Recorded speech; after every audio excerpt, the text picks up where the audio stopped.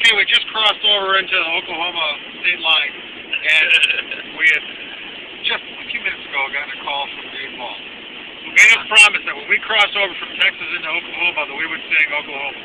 So, ready? One, two, three. Oklahoma!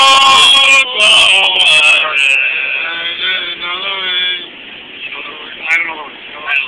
That's it. Dave, that's as good as we can do. All right, we'll talk to you later.